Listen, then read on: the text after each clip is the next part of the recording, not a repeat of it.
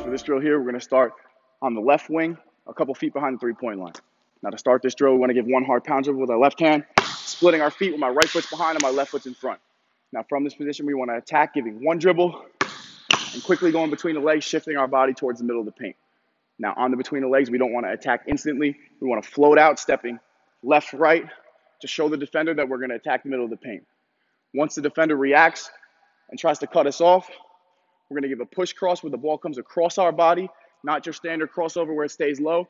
Ball comes across our body, and we're gonna push it out as far as we can, catching right, left for a jump shot here. One more time. Quick split here.